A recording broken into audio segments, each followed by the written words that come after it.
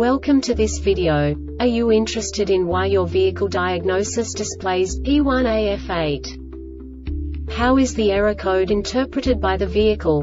What does P1AF8 mean, or how to correct this fault? Today we will find answers to these questions together. Let's do this. First, let's look at the history of diagnostic fault code composition according to the OBD2 protocol, which is unified for all automakers since 2000.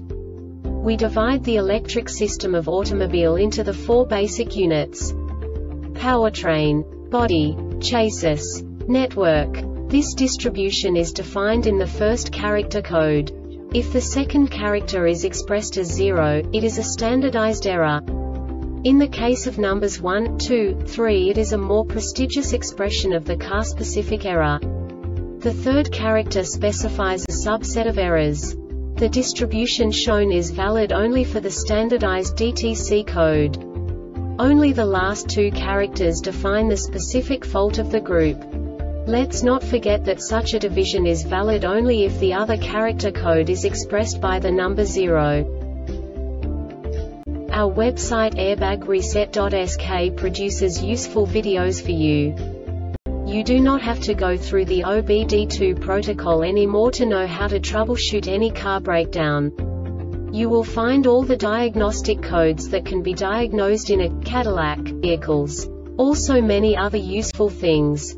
The following demonstration will help you look into the world of software for car control units. You unbelievably can move the video a bit further. The error code is split into two bytes consisting of 16 bits. One bit is the basic unit that each computer works with. The bit has two logical states. 0, low level, 1, high level. By combining the first two bits, the basic character of the error code is expressed.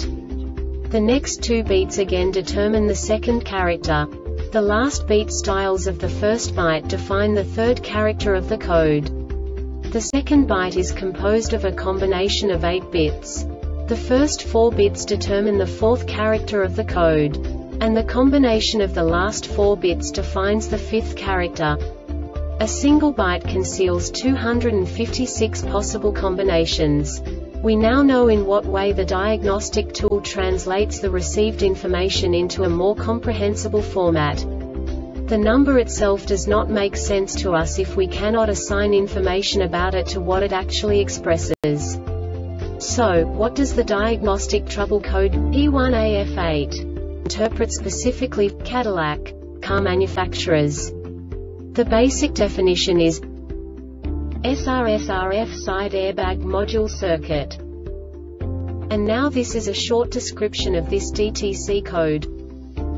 Right side airbag module circuit is shorted to some power supply circuit. This diagnostic error occurs most often in these cases. 1. Visually check the wiring harness connection 2. Replace the harness if it has visible damage 3. Replace the front RH seat back assembly 4. Replace the airbag diagnosis sensor unit 5. Replace the related harness.